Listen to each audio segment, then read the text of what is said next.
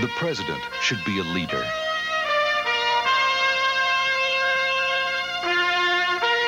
Jesse Jackson is a leader.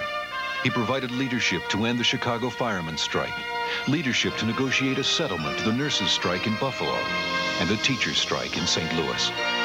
Jesse Jackson also successfully negotiated the return of Lieutenant Goodman from Syria. Leadership. For President, Jesse Jackson.